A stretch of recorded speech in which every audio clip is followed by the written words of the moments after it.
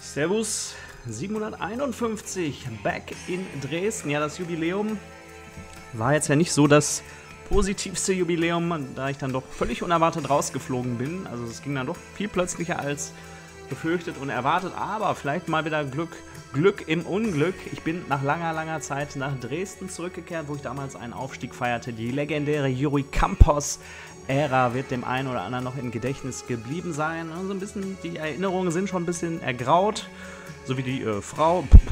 Ähm, aber wer äh, sich an meine Zeit hier in Dresden erinnern möchte, der kann natürlich die alten Folgen hier nochmal abrufen. Ich muss selber hier mal ein bisschen durch die Stadt gehen, mal gucken, was sich hier so verändert hat. Es ist fast 20 Jahre her, da ist das ein oder andere Geschäft und die eine oder andere Kneipe gar nicht mehr da. Aber ja, ich bin so eine Art Neurohrer von Dresden hoffentlich, äh, bei vielen anderen Vereinen gescheitert, aber hier, ach, mir wird jetzt hier auch attestiert, dass die Fans mich hier nicht mögen. Das ist also Quatsch. Das ist also Quatsch. So. Sandra hat das pikante Alter von 69 erreicht. Äh, wir haben ihren Geburtstag gebührend gefeiert. Ich habe mir mal äh, den Kader hier angeguckt. Wir sind in der Breite nicht so doll aufgestellt. Wir haben aber 3 12er, ein 11er, 4 10er. Aber halt in der Breite nichts. Und wir können uns jetzt auch keine Spieler mehr verpflichten. Ähm ich brauche auf jeden Fall mal einen Co-Trainer, nämlich mal meinen Freund I Love Tits. Oliver Kahn. Sagt aber so, der Titz soll einmal bauen. Der hat zwar in der Vergangenheit auch nicht mal das Beste gebaut, aber ja, der Titz baut jetzt hier irgendwie ein Haus mit Legostein. Äh, nee, ich, ich nehme einfach mal ein klassisches 4-3-3. Ich möchte mal wieder mit Dreiersturm spielen, weil das hat ja irgendwie gefühlt besser geklappt meistens. So, da haben wir nämlich drei gute Stürmer. Maya, Dafalou und Silva de Gos, Schuster und Nioff haben wir auch noch. Haben wir quasi vier gute Stürmer. Den Silva de Gos dann mal als guten Bankspieler. Ups, Entschuldigkeit. Äh, viele gute Bankspieler werden wir hier nämlich nicht aufbieten können. Bosovic auch ein. Zwei Innenverteidigung ist auch dünn wie Zeitungspapier. Ah, da haben wir den Backer, der ist gerade auf Länderspielreise. Wofür denn überhaupt? Für Deutschland, tatsächlich. Ähm, amtierender Titelträger dann. So, der muss auf jeden Fall hier mit so einem Grünschnabel an der Seite spielen. Linkes Mittelfeld haben wir und auch im rechten Mittelfeld sind wir dünn. Da müssen wir dann hier auch also wir haben hier keine perfekte erste Elf, wobei wir, wir haben noch den Packer hier als Zehner, dann spielt der einfach statt Innenverteidiger ein bisschen vorgezogen. Haben wir aber dennoch mindestens eine Schwachstelle in der ersten Elf. Guck mal, bei der Jugend, oder ganz viele, die noch keinen Vorvertrag haben, die kriegen erstmal alle Vorverträge. Da habe ich zwei linke Mittelfeldspieler mit riesigem Talent, unter anderem der eine mit gar keinem Talent und auch einen rechten Mittelfeldspieler. Kann ich ja zumindest den Gil hier schon mal hochziehen. Haben wir da zumindest auch einen jungen Mann, den wir da mal reinschmeißen können im rechten Mittelfeld, der auch sogar ein bisschen stärker ist als der Cook. In der Amateurabteilung haben wir nur Stürmer und DMs, da haben wir eigentlich keinen großen Bedarf. Vielleicht ein Ersatzstürmer. Ich muss jetzt erstmal hier einen Überblick kriegen. Wir haben über 17 Millionen auf dem Konto. Vorstand ist ja mäßig. Darfst mir jetzt von vornherein mit denen nicht verscherzen. Ähm, wir wollen oben mitspielen. Ich habe Vertrag bis Ende der kommenden Saison. Und ja, vielleicht ist auch jetzt noch ein Aufstieg drin. Also ich muss ja erstmal hier mir ein bisschen... Wir upgraden erstmal zu Reinhard Rundball, HAL 8000 und Noraxa. Das sind ein paar Ausgaben, die sein müssen. So, die Fans werden erstmal hier mit 500 Tickets verwöhnt. Aber ich bin direkt wieder gegen Wiesbaden. Die begegnen einem auch immer wieder. Und ich stelle jetzt nach wie vor das Training selber zusammen. Komplett. Äh, Pressing machen wir hervorragend, Ecken ordentlich, Einwürfe sind schlecht. Dann üben wir jetzt hier schon mal montags, mittwochs und freitags morgens die Einwürfe. Ähm, so, dann gehen wir hier schwimmen. 5 gegen 2, Gymnastik, Spaziergang. Nun gehen wir nochmal schwimmen. Freitag mittags Trainingsspiel. Dann haben wir auch grauenvolle Freistöße. Die üben wir dann mal Dienstag und am Donnerstag. Und dann hier mittags oder in der zweiten Schicht des Tages immer ein bisschen gemischt. Hier ein bisschen Krafttraining, ein bisschen Passspieltraining, ein bisschen Abseitsfalle und ein bisschen Tackling üben. Gespräche wollen auch geführt werden. Bekannte Gesichter sind hier jetzt, glaube ich, nicht so wirklich für mich, aber man kann sich ja kennenlernen. Die haben eher gegen mich gespielt, daher kenne ich sie vielleicht.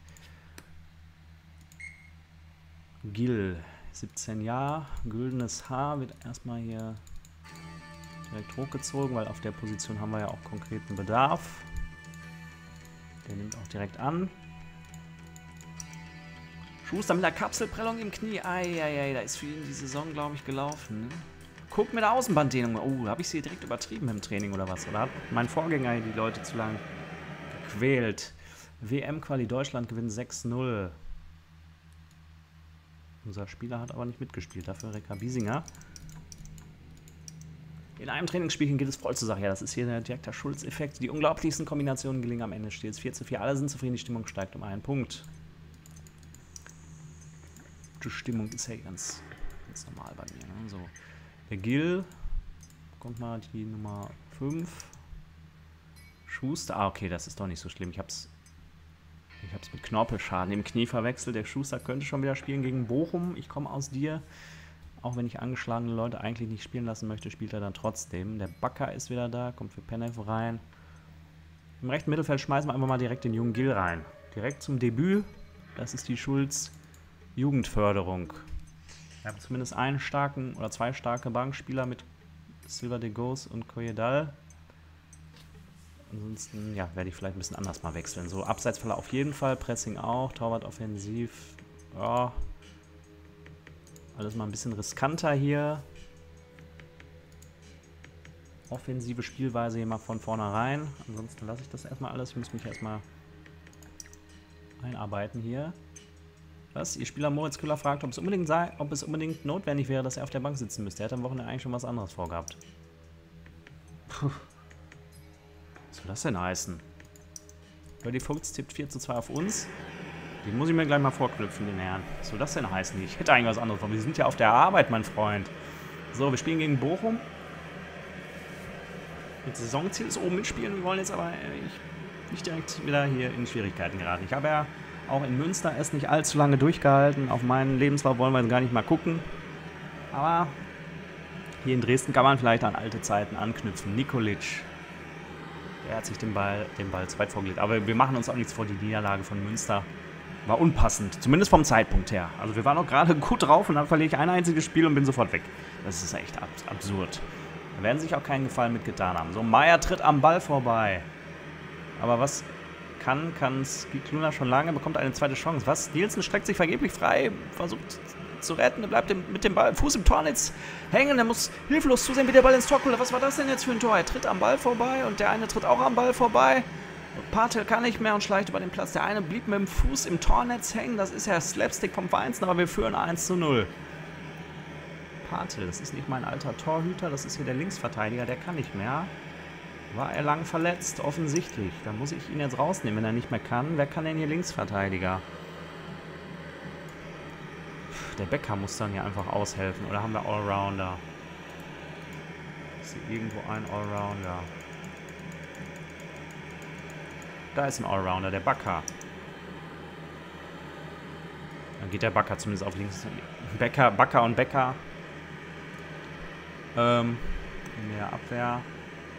Ansonsten gibt es hier ein großes Lob für Meier, der das kuriose Tor geschossen hat. Wir führen 1-0, weiter so.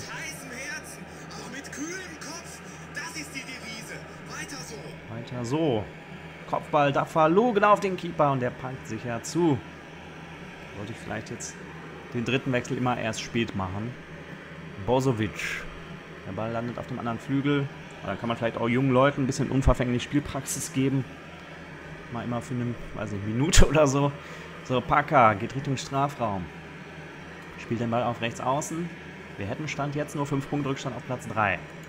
Wie in Wiesbaden und Münster, das sind pikante Nachbarn hier in der Tabelle. Okay, noch nicht ganz Nachbarn. So, der Gil hat das ganz ordentlich gemacht hier bei seinem Debüt.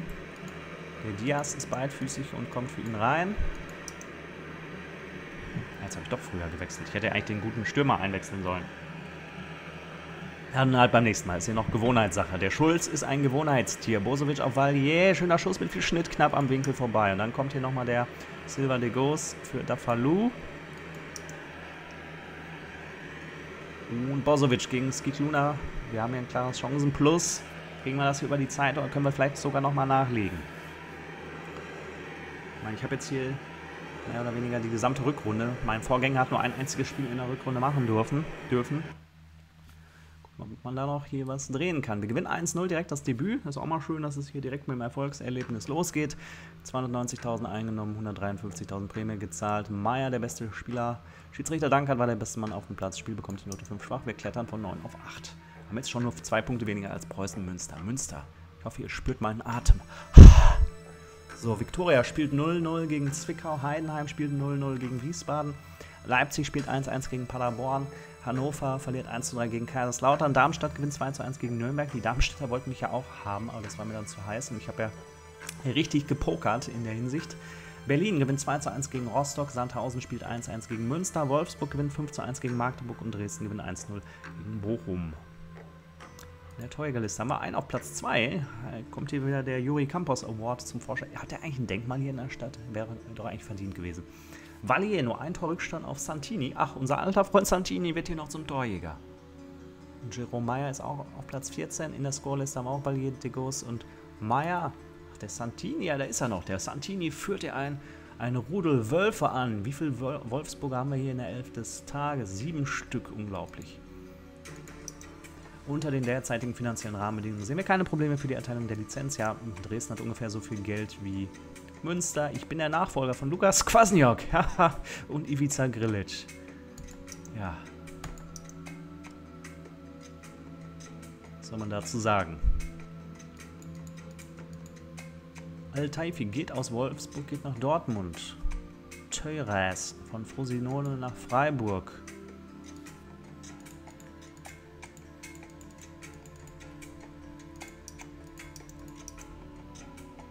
Spielen jetzt gegen Wien Wiesbaden. Ja, auch alte Bekannte hier. Also ich besuche erstmal Cook und Schuster.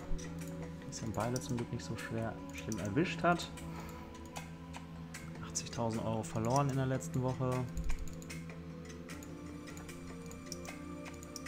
Vorstand findet es ganz gut. So, Spieler abwerben. Da haben wir einen mit mittlerem Talent, Rechtsverteidiger von Bayern, Marcel Kelly. Den schnappen wir uns auch mal direkt. So, das riesige Talent kriegt jetzt erstmal eine Förderung. Das riesige Talent kriegt ja auch eine Förderung. Wo spielen wir denn hier? Unsere A-Jugend spielt in der Bundesliga, steht auf Platz 11. Unsere B-Jugend spielt in der zweiten Liga, steht auf Platz 13. Und die C-Jugend spielt in der dritten Liga, steht auf Platz 6. Trainingsschwerpunkt ist mal Charakterschulung. Die Schulzsche Charakterschule. So, ich baue mal wieder hier alles von Hand.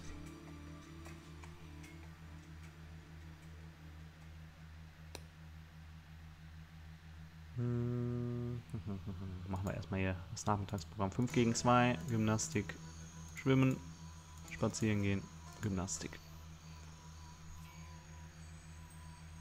Unsere Freistöße und Ecken sind beide sehr schlecht. Dann machen wir hier Freistoß, alles abwechselnd. Freistoß, Ecken, Freistoß, Ecken. Und hier machen wir Einwürfe. Machen wir hier ein bisschen leichte Kondition, Passspiel, Reklamieren, Abseitsfalle und Anti-Abseitsfalle. Oh, die Moral ist doch bei einigen direkt gestiegen. Das ist doch typisch hier. Das kann ja nur an einem liegen. Natürlich an dem Christian Titz. So.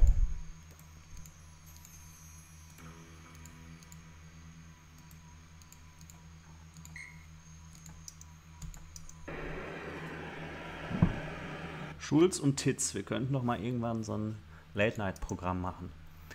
Nach unserer Trainerkarriere. Champions League.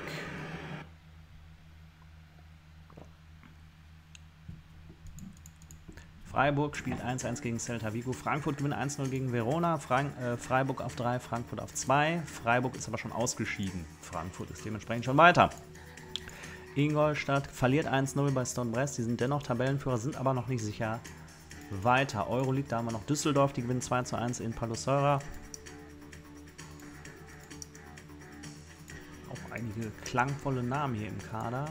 Helio Vorname, bestimmt eine ganz hohe Stimme. So, ich habe ja gerade mit ihm geredet. Du sollst jetzt nicht so. Ich dachte mir, er hätte eine hohe Stimme, aber wir haben, wir haben auch gerade nur einsilbig so ein bisschen übers Wetter geredet. Ich werde da nächstes Mal noch mal ein bisschen genauer hinhören. Man will ja die Leute ja auch nicht direkt voll quatschen. Ne? Ein bisschen, äh, was macht die Frau? Aber Frauen haben die alle nicht hier. Ne? Obwohl, bei Dresden müsste ich nochmal gucken. Schönes Wetter, ne? Die Dönerpreise sind gestiegen hier in Dresden. Aber, seit wann ist das denn so? Ne? So, wir spielen gegen Wiesbaden, die sind mir natürlich ein Begriff.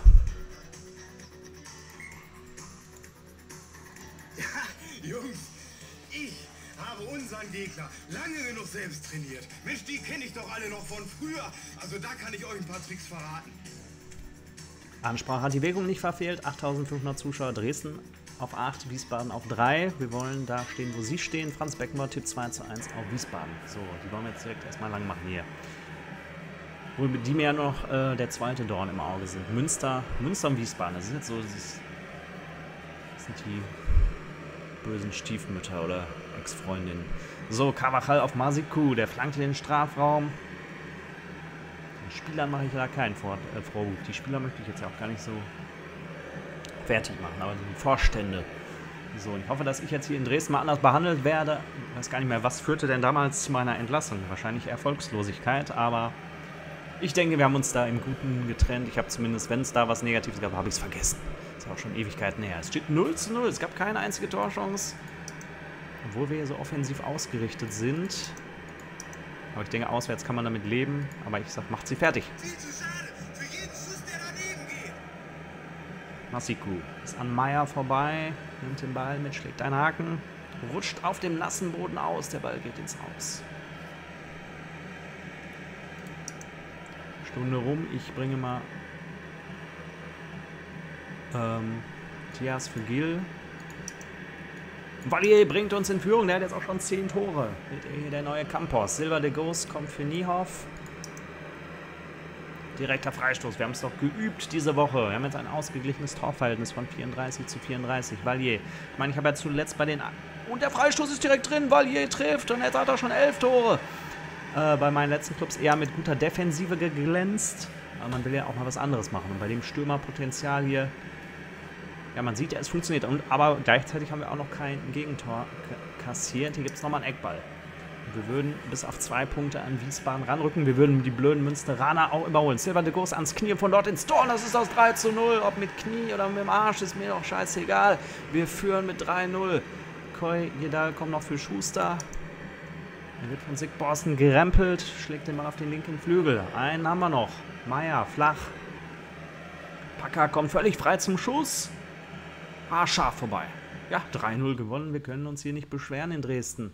Zwei Tore von Valier, der damit natürlich auch Top-Favorit auf die Torjägerkanone jetzt langsam sein dürfte. 160.000 Euro Prämie bezahlt. Valier, der beste Spielerspiel, bekommt die Note 4. Ging so. Wir klettern von 8 auf 6, haben jetzt 31 Zähler, sind punktgleich mit Bochum.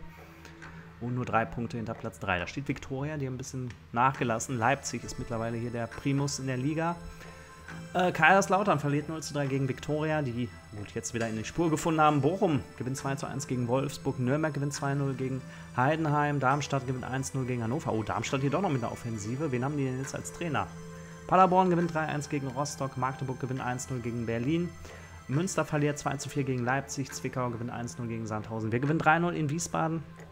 Valier auf Platz 1 allein, nicht auf Platz 1 der Torjägerliste und in der Scorerliste auf Platz 3. In der 11 des Tages ist er auch als Mittelfeldspieler aufgeführt, merkwürdigerweise. Ihr Team gilt als verschworene Gemeinschaft. Wie kann man das als Trainer fördern? Das ist mein Geheimnis. Also Sie haben richtig bemerkt, dass meine Spieler zusammenhalten. Streitigkeiten werden eben nicht über die Presse ausgetragen. Ne, wir dokumentieren das hier alles in Videoform. Äh, woran liegt das eigentlich, dass in Ihrer Mannschaft eine so hervorragende Stimmung herrscht? Ja, ich bin, ich bin der Partygott. Ich bin der Partylöwe Nummer 1 in der Stadt. Ähm, kenne ein sehr gutes Buch mit wirklich lustigen Witzen. Da bringe ich ab und zu ein paar schon lachen alle. Die Abschaffung der Abseitsregel wird zurzeit schon wieder. Was ist Ihre Meinung dazu? Die Regel muss bleiben, ohne sie würde Fußball mit Sicherheit nicht mehr so schön sein.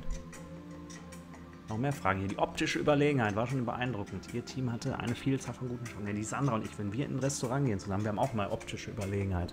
So, ähm,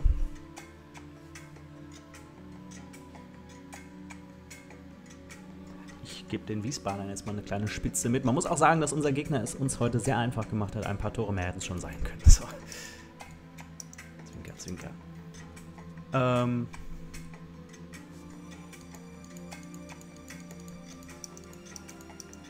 So, es geht, geht, es perfekt weiter. Da Costa verbessert sich in der Kategorie Flanken. Wir spielen gegen Paderborn, die stehen auf Platz 12.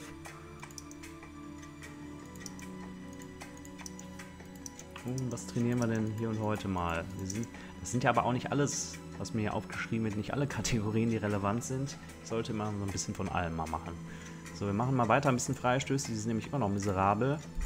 Zumindest Montag, Mittwoch und Freitag.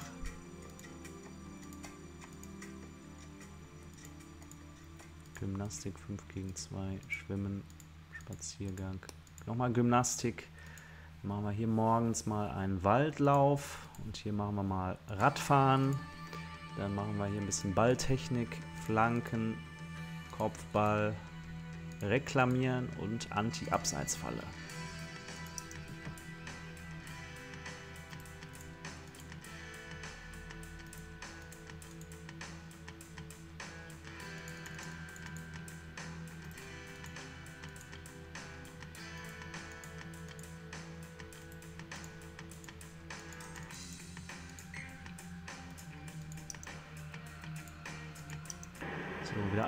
Lob übergießen. Ingolstadt, sie können zwar die Euroleague nicht verteidigen, aber sie holen den europäischen Supercup. Mit einem 2 zu 1 gegen Huddersfield. Sie wollen im Training ein kleines Kabinettstückchen zeigen, zeigen treten dabei unglücklich auf den Ball, stürzen, brennen sich die Schulter, morgen können sie leider nicht das Training leiten.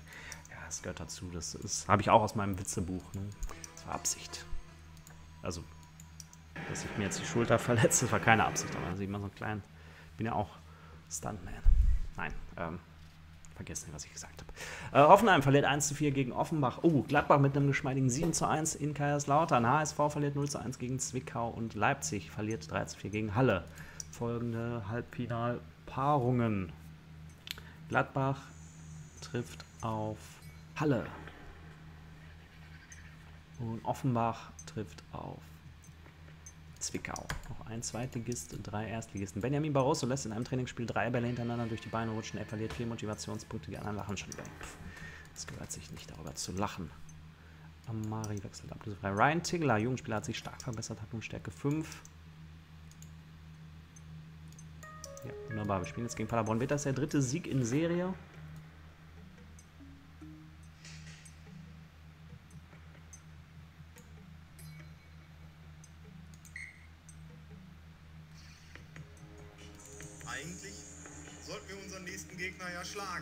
Locker. Aber nie vergessen, Jungs. Auch eine blinde Katze stößt mal auf eine tote Ratte. Kann passieren. passieren. So, Mannschaft scheint gewillt, ihr Bestes zu geben. Wir sind hier klar die Favoriten. Boris Becker tippt 0 zu 2 auf Paderborn. Bartel ist mit den Kräften am Ende. Ei, was ist denn da los? Da muss ich ihn direkt rausnehmen. Mast schießt und Valier kann den Ball blocken. Ja, der arbeitet auch hinten mit. Der Bartel muss jetzt sofort rausgehen. Dann kommt der Becker und der tauscht den Platz mit dem anderen. Backer oder Becker, oder heißt ja auch wieder Becker ausgesprochen. Er ist Deutscher, dann sage ich Backer. So.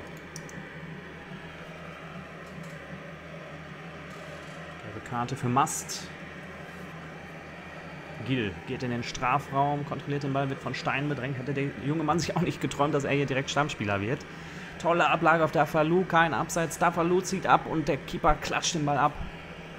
Delikt haut den Ball ins Seiten aus. Becker klärt per Kopf. Eckball für Paderborn. Die tabellarisch auch gar nicht so weit weg sind von uns. Miller, Becker. Es gibt nochmal Eckball. Paderborn spielt hier vorsichtig. Eckball von links. Ja, per Standard ist jeder gefährlich. Miller auf Bakker, der klärt per Kopf. Niehoff nimmt den Ball mit, schlägt einen Haken, flankt in den Strafraum. Da kommt keiner ran. Meier. Pass zurück. Valier. Sollte heute hier nochmal eine Bude machen, aber wir sollen auch die anderen Stürmer nicht vergessen. Da verloren, freie Schussbahn, satter Distanzschuss und der Ball ist drin, wir führen 1-0. Das vierte Saisontor, Valier auch noch mit dem Scorerpunkt, ja. Knappe Kiste, aber wir führen. Ein Lob für Dafalu.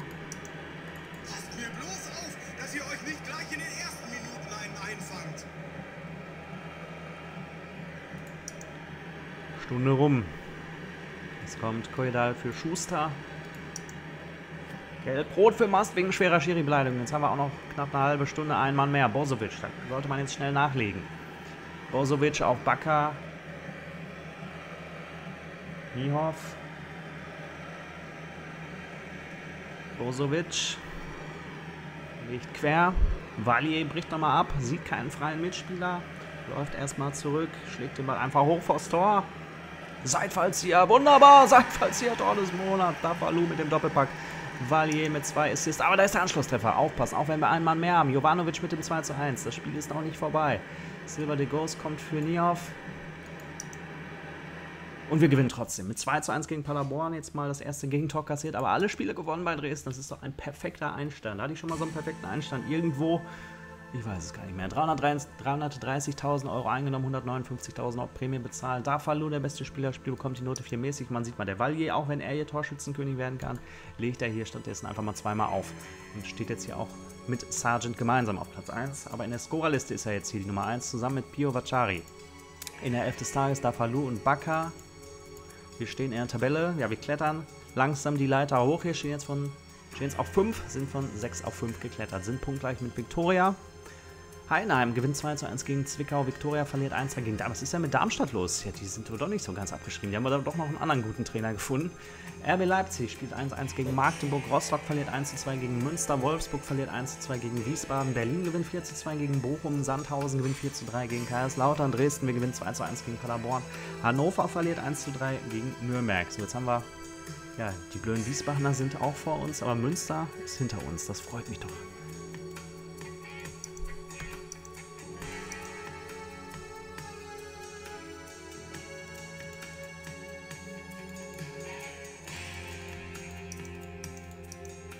Perfekter Einstand. Wer hätte das gedacht? Wann hat man sowas schon mal erlebt? Vielleicht war es ja doch ein, wie gesagt, Glück im Unglück. Wir haben 45.000 Euro verloren. Das Präsidium, wann wurde ich hier zuletzt so angelächelt? Das ist so wunderbar, herrlich ist das. So. Wir haben ja noch. Gibt es hier schon einen Präsidenten? Hatte ich hier damals schon einen Präsidentenpalast gebaut? Gibt es den noch von früher? Nicht, dass ich das gerade nötig hätte. Nee, scheinbar nicht. Könnte den Fernsehturm kaufen. Tankstelle. Ja, äh, wunderbarer Auftakt. Wir stehen in der Heimtabelle auf Platz 8, Auswärtstabelle auf Platz 4, Hinrundtabelle auf Platz 8, Rückrundtabelle auf Platz 3. Die Niederlage war nicht unter mir. Tabelle 1, Halbzeit Platz 7, Tabelle 2, Halbzeit Platz 3. Also hier geht einiges. Ich habe ja das Saisonziel runtergehandelt, zu oben mitspielen und vielleicht wird es dann doch der Aufstieg. Gucken wir mal in die anderen Ligen. Regionalliga Nord, oben Cottbus und Osnabrück, unten Wolfsburg 2, Wuppertal, Wattenscheid und Nordhausen. Regionalliga Süd, oben Burghausen, Augsburg 2 und Unterhaching, unten Groß Asbach, Karlsruhe, Nürnberg 2 und Homburg. Homburg hat erst zwei Punkte. Nach 21 Spielen ist das, glaube ich, nicht die beste Bilanz. Bundesliga, Augsburg ist Tabellenführer, dahinter Bielefeld, Freiburg, Halle, Hoffenheim und Gladbach. Auf den Abstiegsrängen Offenbach, Dortmund und der HSV. Ingolstadt auch ganz schön abgesackt hier. Die stehen in der Rückrundentabelle auf Platz 13. Die waren wohl vorher schon ein bisschen abgesackt. Ja, es läuft wirklich ideal hier in Dresden. Wir spielen beim nächsten Mal gegen Nürnberg, Kaiserslautern und Darmstadt. Wir stehen auf Platz 8, Platz 12 und Platz 18. Aber wir sehen Darmstadt, die haben bisher perfekte Rückrunde gespielt. Oder ein Unentschieden, drei Siege. Wer hätte das gedacht? Wir müssen weiterhin hier ernst bei der Sache bleiben und beim nächsten Mal sehen Sie das. Tschüss, bis dann, bye bye.